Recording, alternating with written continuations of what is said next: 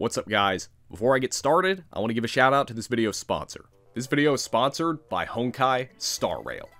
Honkai Star Rail is a brand new Hoyoverse space fantasy RPG. A should be familiar name to any fan of the critically acclaimed Genshin Impact. And, just like Genshin Impact, Star Rail is free to play. On top of this game having some exciting and strategic RPG gameplay that provides a lot of customization and variety with all of its different locations to explore and characters to meet, it also features an intriguing story with some rich lore and some top-notch artwork, graphics, and music that Hoyoverse's games are famous for. And it can be played anywhere on your Android, iPhone, or Windows PC, with your data being carried over regardless of your chosen platform. Plus, you can also invite your friends to play with you from any of their devices as well. Right now, Honkai is currently in its closed beta period, but it will be releasing very soon. And you can check it out right now using the link down below in the description and pinned comment. Whether you're looking for a game that you could just hop on and off of every now and then while on the go, or something that you can sink dozens of hours into, there is no better choice than Honkai Star Rail. Anyone who has any basic understanding of economics should know how supply and demand works, and this very much applies to the secondhand market of video games. Games that you can easily find for cheap are generally ones that were mass produced and nobody wants anymore, like outdated sports titles, while games that are expensive are ones that everyone has heard about, but didn't sell well and or weren't kept in print for very long for one or more of many possible reasons. It could be that it wasn't marketed very well, it's part of a long-running series that didn't take off in popularity until recently, or maybe it got negative reviews from critics that didn't bother to actually learn how to play the game and probably shouldn't have reviewed it to begin with. I won't be naming anything specific, but a certain imaginative gaming network and their review of a certain Hand of God comes to mind. There are a lot of examples I could talk about, but I reckon nobody else has published more games that fall into this category than Atlus. That's right, ladies and gentlemen, Atlus West, known back then as Atlus USA, actually used to be a publisher of third-party games that they didn't make, However, they didn't stay in print for very long. Even back then, they were infamous for their games having extremely short print runs, and you could probably already figure out the effects this had in the long run. And they actually did address this in an interview with MTV way back in 2008, and provided a pretty valid reason that makes a lot of sense from a business standpoint. Basically, they acknowledged that most of their games were expected to appeal to a very niche audience, and the short printing was done as a safety measure, with it being better to come up short in sales than having excess products lying around that will probably spend most of their lives in the bargain bins at Toys R Us. And this wasn't something that just applied to their third-party published games. Nocturne, Digital Devil Saga, Raidou, even Persona 3 and 4 weren't exactly smash hits when they released. If you look far back enough, you could probably even find them on a few underrated PS2 games lists, even though since then these games have been reprinted to death, but that's more than can be said of their other games. Nowadays, we're living in a time where Persona, Fire Emblem, Yakuza, even freaking Atelier are doing well enough to be considered a success, something I don't think anyone would have ever believed 15 years ago. While I completely understand Atlus's policy with its short print runs, and it might even be one of the reasons they're still around today, it does still kind of suck how rare some of these games are, and because I'm sure Atlus has since lost the publishing rights to most of these games, they're probably never getting reprinted, and it's only going to keep getting worse. In this video, I'm going to be looking at the rarest and most expensive games Atlus has ever published. And just to be clear, I'm not going to be including any Megaten games on here, because I'd much rather cover those games in other videos. But now that that's out of the way, let's get on with the video.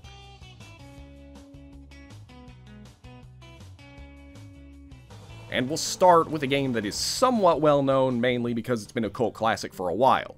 This game is Steambot Chronicles, developed by Irem and released for the PS2 in 2005 in Japan and 2006 in North America. Steambot Chronicles is a game that I hear described a lot as an action RPG, but it's really more part action RPG, part open world, part rhythm game, and part life simulation game. Yeah. This game is set in an early 20th century Europe-inspired steampunk world. You take on the role of Vanilla, a guy who is woken up on the beach by a musician named Connie, and get this, he's lost his memories. He and Connie become friends as he helps her gather together her band so that they can perform a concert downtown. After this, she and her band leave for the next town, and from here, the story can go in just about any direction you want it, and that's one of the great things about this game, the choices. In addition to an abundance of side quests and nearly every conversation having multiple dialogue options that allow you to either be nice or a complete butthole, the story is dynamic, and you can influence it into one of several possible directions that affect how the plot progresses and which ending you get. Even how Vanilla uncovers his backstory is affected by your choices, which is not only cool, but it adds replayability to an already content-rich game. Now, the story itself isn't anything too mind-blowing, and in fact it actually takes a sort of laid-back approach, but in a good way. What I mean by this is that it's not shoved in your face, but it's told in a way that's very relatable and immersive. For a good chunk of the game, there isn't really much of a plot at all. Like, there are characters, there's conflict, and there are things to do, but there's not much of a driving force behind it all other than the characters just going about their daily lives. For example, in the early parts of the game, as you're helping Connie, you'll learn more about her backstory, like her caring for her bedridden mother, and that she's part of a band called the Garland Globetrotters. Eventually, you'll get a chance to join them, and you'll be able to perform with them in concerts and help them out and grow attached to them as you learn about their backstories and their reasons for performing too. It really makes you feel like you're a part of the game's world, and this is also because of the amount of freedom the game gives you. There is a lot of stuff to do in this game. Not just side quests, but you can customize your clothing, your haircut, your mech, which I'll get more into in a minute. The cities are very detailed, and almost every building in them is explorable. You can buy a house, buy furniture, you can play instruments, earn money by playing instruments, buy and trade stocks, even date the female characters. Not to mention, this game has two modes that support two players. Battle mode, where two mechs fight against each other in an arena, and Billiards, which is well, billiards. And it's a surprisingly well done minigame, all things considered. But I haven't even gotten into this game's main focus, that being the mechs, which are called Trotmobiles, which you use to get around and fight enemies. Provided you have the right parts, you can transform your Trotmobile into almost anything you want, and it's important to consistently maintain your mech and keep upgrading it so that you'll be able to keep fighting enemies as the game goes on. Now, the Trotmobiles control in a very unconventional way. By pressing forward on the left stick, your vehicle will move forward, but will also turn slightly right, while doing this with the right stick will turn you slightly left. It sounds like a nightmare in theory, but it's actually pretty easy to get the hang of, and it actually adds another layer of immersion to this game given the primitive nature of these designs. All your other standard actions like attacking, dodging, and jumping are all done with the shoulder buttons, and you can lock onto enemies with square. Although, I will say that the combat isn't one of this game's strong points. I mean, it's not terrible, but it boils down to little more than locking on, dodging, and spamming your attacks, with the most amount of variation being the ability to pick up and throw objects or use them as weapons. But this leads into what is probably this game's biggest flaw, the flimsiness of your mechs. In addition to your mech's health bar, you also have to worry about its fuel meter. If it runs out of fuel, you have to slowly limp around until you get to a repair station and your melee weapons have a durability meter that goes down pretty quickly, and ammo for projectile weapons is extremely limited. You can still attack once your weapon breaks or runs out of ammo, but all you get is this dinky little arm swing that barely does any damage. When you're in the open areas going from one town to another, you'll have to fight because hostile enemies are all over the place, but you'll usually have enough resources to take on a handful of enemies. You can ignore them, but you may need to fight them if you're running low on fuel since that's something they drop when you kill them. Either way, it's annoying, and it means that you can't really spend a lot of time exploring these open fields. And pretty much every time you get to a town, the first thing you have to do is head straight to the repair shop to fix your machine, which gets annoying after a while. I will say though, the presentation for this game is magnificent. It's another one of those games that uses a cel-shaded art style, and even after all these years, it still looks good. And like I said before, the environments are very detailed and really help bring this game's world to life. That's also true for not only the background music, but also the music that you and the band play. Although the voice acting is kind of hit or miss, some of the characters have good voice actors like Wendy Lee, who voices Connie, and Vanilla, who's voiced by Spike Spencer, but most of the voice acting for the side characters is just okay. Overall though, Steambot Chronicles is a really awesome game that you can easily get hooked on and sink dozens, if not hundreds of hours into. It's definitely a one-of-a-kind experience that you can't get anywhere else, and might just be the only game in this video that is actually worth the price. Generally, I see this game going for anywhere between 120 to $200, with the former being for a loose copy, and the latter being an inbox copy that may or may not have the manual with it. If you aren't too sure though, I suppose you could buy the demo disc for around 25 Also, apparently there was a sequel plan for this game, but it was cancelled in 2011. Although there were two spin-offs, Battle Tournament for the PSP, and a board-style game called Blokus Portable Steambot Championship, which I don't even think I should count. Maybe one day we'll see a digital re-release, or even better, a spiritual successor, since we've been getting that a lot recently, but until then, all we can do is keep our hopes up. Alright, for this next one, we have a double entry, because both of these games are part of the same franchise. Dokapon Kingdom for the Wii and PS2, and Dokapon Journey for the DS. Now, Dokapon Kingdom is a game some of you may have heard of. Both of these games are part of a series that is pretty long running in Japan, but these two are the only ones that got an official English release. Dokapon Kingdom is, well, a party game that takes place on a board. You're probably already thinking that it's a Mario Party clone, but that's actually not true at all. It's more of a party game and RPG hybrid, something that, before playing, I didn't even think could exist. Almost every game mode in Dokapon Kingdom is playable with four players. In fact, while you can play with AI-controlled enemies, playing through the story with multiple players is not only possible, but it's actually encouraged. The story for Dokapon Kingdom is that the kingdom is being invaded by monsters, and then two to four players have to compete against each other to save the kingdom even though the main motivation for the player is to actually earn the most money, because whoever has the most money will be able to marry either the princess or the king depending on the player's gender, and you're encouraged to make that possible through whatever means necessary, even if they're less than ethical. Yeah, Dokapon Kingdom is very much a game that will probably ruin friendships when you play. I mean, that's what's advertised on the back of the box. In Dokapon Kingdom, you can actually create your own character and customize his or her stats and choose one of three classes warrior, thief, or magician. You can also level up and change classes later on if you want. Another thing, when you spin the wheel to move forward, you're allowed to move in any direction you want. You're not just limited to moving forward. In fact, the board actually has a much more non-linear structure than Mario Party, and most players will probably scatter in different directions early on. Now, throughout the board, you can accept missions, buy new equipment, fight enemies or bosses, explore dungeons. Sometimes you can even do things like rob stores or send hitmen after the other players. When you land on a blank space, sometimes you'll get an event where an NPC will give you some kind of test or special item, but usually you'll have to fight an enemy, and that leads to what is probably one of this game's biggest flaws, the combat.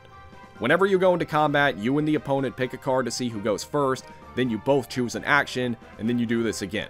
In most cases, the battles will be over within one turn, but if both combatants are still standing at the end, the next turn will pick up where the battle left off, and you won't be able to do anything else that turn. It can be frustrating, especially when you get into a battle against an enemy that is much higher level than you and or you lose due to RNG, which leads into what is probably this game's second biggest overall flaw, the reliance on luck. Don't get me wrong, there is a lot of strategy involved with Dokapon Kingdom, but no matter how well you're playing, a single mishap could easily make you lose a lot of progress and potentially cost you the game. Personally, when playing this game, I have horrible luck. Just watch this footage of me playing with my friends. Strike. Whatever. This is compl- Let's go! you. Your mom. Dude, this game is so, Nyarly, so much harder This bro. game is so much harder than predict SMT. Oh, I hate this. But then again, that randomness and unpredictability is part of what makes these types of games so much fun, especially when played with other people. Although, I should point out that games of Dokapon Kingdom can go on for quite a while, and it's extremely unlikely that you'll be able to do a full game in one sitting. It's really something that you and your friends have to dedicate yourselves to when playing, but if you can find a group of friends willing to play with you, you're in for quite a fun time. Now, Dokapon Journey you may think would be a completely different game, seeing as how it is on the DS and came out about a year later, but it's actually very similar. The story is pretty much the same idea, finish with the most money, marry the princess, yada yada. Obviously, the graphics aren't as good with the DS being a handheld and the graphics are now all in 2D, but honestly, the Dokapon series has a very cartoonish, chibi art style, and I actually think it looks much better in 2D than it did in 3D especially when you remember that Dokapon is in large part a parody of classic RPGs from the old days of gaming. The gameplay is almost identical. You still navigate the board the same way, combat is pretty much the same, and I am about equally as bad at this game as I am at Dokapon Kingdom, although you do have more classes to choose from at the start of the game. One thing that's cool is that it is possible to play the game in multiplayer mode through either DS download play or hot seat mode, which is where you pass the DS around between multiple people. I mean, the console version had this too, but it's not something you see with a lot of handheld games. Both of these games are pretty good, but I wouldn't say they're worth the asking prices. I should mention though, this game is getting a remake which is supposed to come out sometime soon. If you're absolutely dying to play this game, just wait for that. It'll be better to pay $60 for a brand new game than the upwards of 120 that either of these games will cost you. Up next is another double entry, and these two games are the only Atlus published games for GameCube. They are Go-Go Hypergrind and Cubivore Survival of the Fittest. I'm not going to spend too much time talking about these games though because I already covered them in previous videos. To start things off, Cubivore is a game originally developed by Intelligent Systems, planned originally for the Nintendo 64 disk drive, but was later moved to the GameCube due to the failure of that platform. If, like me, you played Melee back in the day, the first time you probably ever saw or heard of anything related to this game was with the trophy simply titled Alpha, although that animal doesn't actually appear anywhere in Cubivore, but the pig from the game appears as a spirit in Smash Ultimate. Like I said, this game was developed by Intelligent Systems and published by Nintendo in Japan, but published by Atlus in North America. I imagine the reason it wasn't brought over by Nintendo was because it wasn't really up to the quality standards that Nintendo wanted from GameCube games, but it has a certain charm to it. There's also the way the game is based on the process of evolution and natural selection. This game has you take on the role of a pig who is determined to defeat the killer cubivore, but in order to do this, he has to mutate by not only eating other cubivores, but also by mating, a process that actually kills him, so you're technically playing as a new animal each time you do this. While there are a lot of different factors that contribute to how well your character can move, fight, survive, and stuff like that, the gameplay pretty much just boils down to wandering around and pouncing on enemies until they die. It's not exactly a very complicated game, and it's nothing revolutionary, even at the time it came out. But, like I said, the art style, the atmosphere, the music, and the game's somewhat dark humor really make it a unique experience. The other Atlus GameCube game, Go-Go Hypergrind, was actually developed in-house by Team Poponchi, a developer under Atlus, who worked with some of the creators of Ren and Stimpy to develop this game. And, despite it being made by a Japanese studio, it was only ever released in North America. Go-Go Hypergrind is a skateboarding game where you compete against other cartoon characters in a competition to be the star of Spumco's next big cartoon.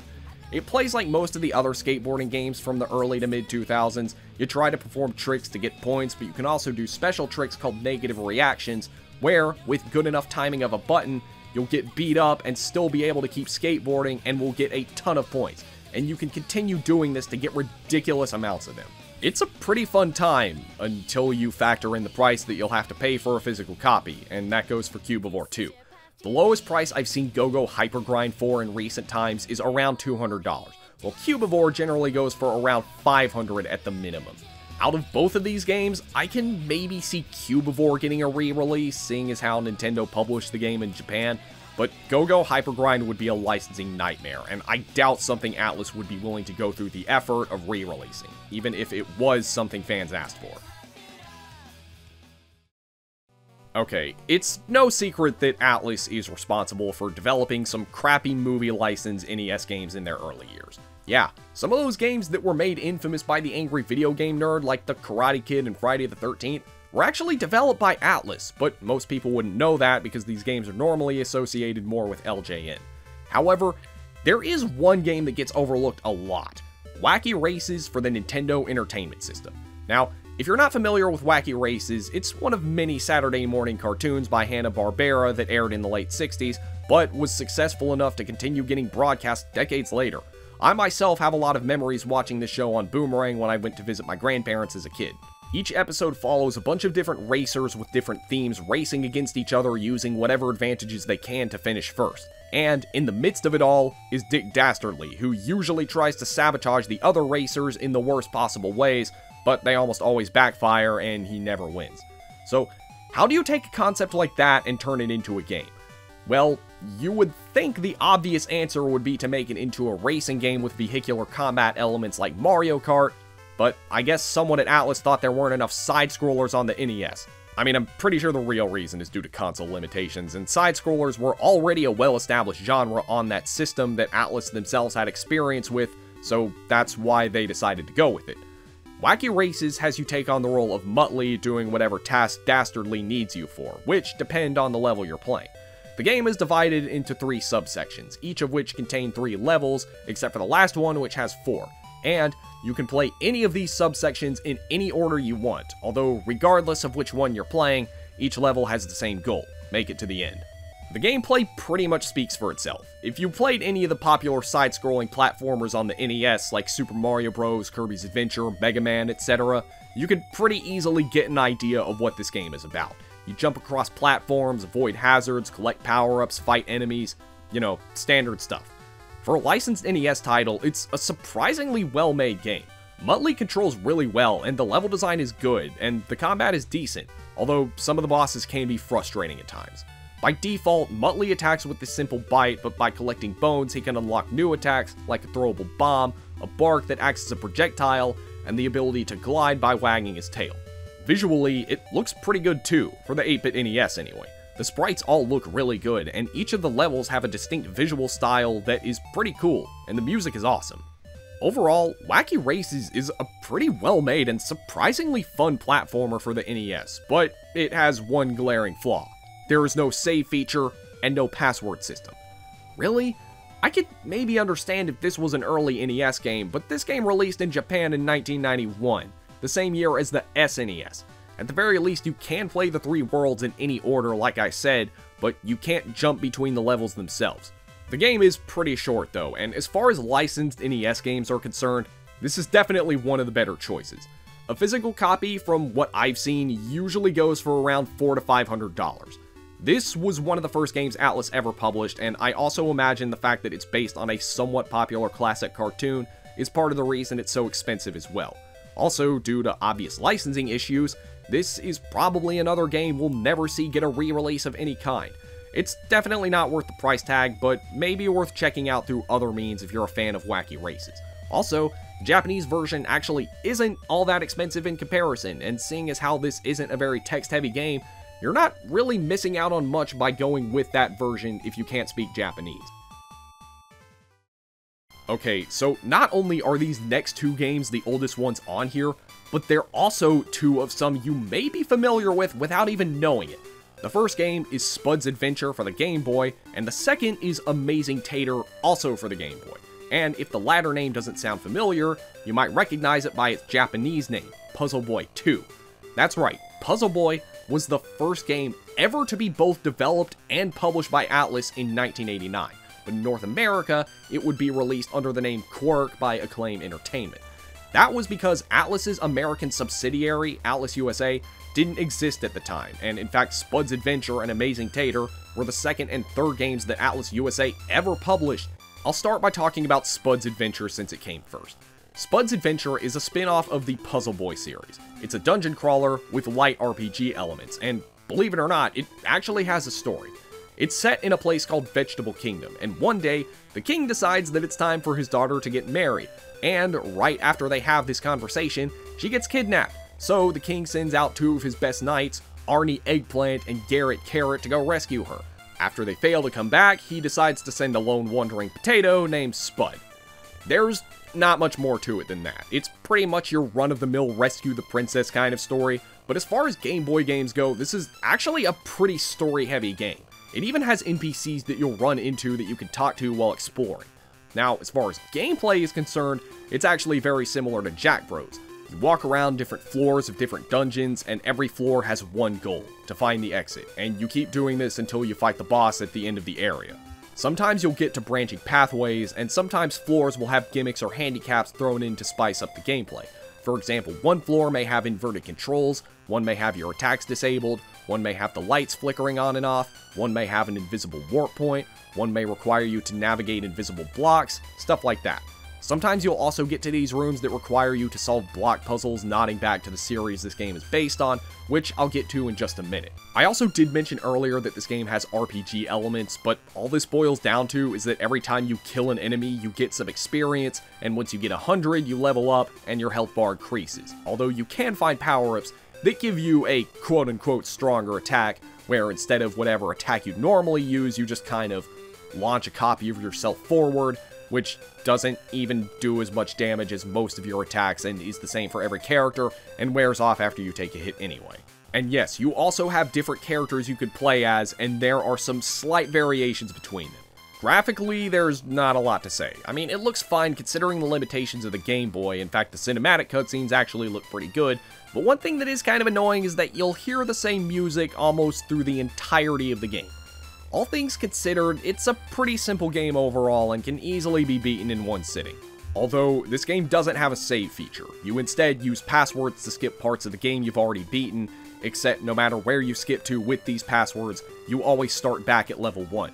If you're playing this game on an emulator, I wouldn't feel bad about using save states. Overall, Spud's Adventure is an okay game. I don't know if I would recommend you play through it unless you have to experience one of Atlus's first games, and it's definitely not worth the price it's currently trending at, which is anywhere from 750 for a loose cartridge to 25,000 for a brand new copy. But what about Amazing Tater? Well, like I said, with this one being a direct sequel to the first Puzzle Boy, this game takes the series back to its puzzle roots. In fact, if you've played the puzzle minigame in SMT Nocturne, this style of gameplay should look very familiar because this is what that game is based on. Once again, you take on the role of Spud, who is now just represented by a smiley face, but you have to do things like push blocks into place and move through rotating obstacles to make it to the end of every stage. It sounds simple on paper, but this is actually a rather difficult game. Even the earlier stages on easy mode require a lot of thinking, and one small mistake could lock you out of being able to complete the level, forcing you to restart, although it never actually gets to the point of frustration. For such a simple concept, it's surprisingly addicting and a lot of fun. I imagine back in the day, this game was perfect for killing time during a boring car ride or waiting on your food at a busy restaurant. There are also four different modes, practice mode, beginner mode, puzzle mode, and action mode. These are mostly the same with small variations. For example, beginner mode lets you use hints in case you get stumped, which is nice, and action mode, which actually has a story. It's a good game, and I definitely think it holds up a lot better than its brother, Spud's Adventure, but it's still not worth the grand or so you're gonna have to cough up to get a physical copy, if you can even find one, but it is worth giving a playthrough on an emulator. And, you know, seeing as how all these games were developed by Atlus, and I assume they still own the rights to them, it wouldn't hurt to give them some kind of re-release. I mean, I'm sure it would be popular among SMT fans seeing as how the Puzzle Boy minigame in Nocturne is looked back on pretty fondly. I would definitely love to see a more expanded version of that as maybe a digital download, or, if that's too much effort, maybe make a digital collection of all the Puzzle Boy games for the Switch eShop or iOS and Android or something like that. I don't know, maybe if we get a hashtag trending or something, but for now, let's move on to our final game. The game that I'm sure most of you immediately thought of when you clicked on this video, Rule of Rose. Not only is Rule of Rose one of the most expensive PS2 games, it's also one of the most controversial. Sony passed on publishing this game in North America due to the content of the game, leaving it to be published by Atlus, and in Europe, more specifically in Britain, a lot of media outlets started jumping to conclusions about the contents of the game, leading to it being banned in the UK as well as Australia and New Zealand. Now, I'm not sure if this had anything to do with the game not selling well in North America or not, but this game also wasn't received very well by critics. But how good is the game? Well, the opening cinematic, which you've been seeing on screen, is really cool and does a really good job of letting you know what to expect going forward. Rule of Rose is set in 1930s England, where you take on the role of Jennifer, an orphan who is on her way home through this creepy looking forest on a creepy looking bus, where some boy asks her to read from a crudely put together book. For whatever reason, the bus stops in the middle of nowhere, the boy runs off, and she decides to chase the boy into a creepy house. Once she finds him, she finishes the book, then she gets thrown into a coffin and dragged off to God knows where, where she is forced to deliver certain gifts. The majority of this game involves you looking for gifts to give to this aristocrat club to meet their demands. Otherwise, they'll kill you, and you have to do this once a month. Now, I've heard Rule of Rose described as a survival horror game, but it's really more of a puzzle game with survival horror elements. I mean, don't get me wrong, the horror is there, but combat clearly wasn't the focus of this game. Encounters with enemies aren't super common, and honestly, the combat is kind of not good. I mean, I get it, it's horror, they want you to feel helpless, and you're not playing as a trained agent or soldier like in Resident Evil or something. In fact, most of the time it's better to just run away than waste your time fighting enemies whenever you can. The rest of the gameplay has you walking around the ship trying to find whatever gift is asked of you for that particular month. This is good and all, but Rule of Rose is oftentimes kind of vague with what you're supposed to do, and in order to advance, you have to reach trigger points that trigger very specific events that allow you to get what you need to advance. I will say though, figuring out what to do on your own is very rewarding, but it can also be very frustrating when you're wandering around aimlessly trying to figure out what to do next, especially when you take into consideration your character's slow movement and lack of ability to run, and the amount of times you'll be opening doors that take you to different areas. Each time you open a door, you go into this long animation and then have a black screen that lasts for about a second before loading the next area.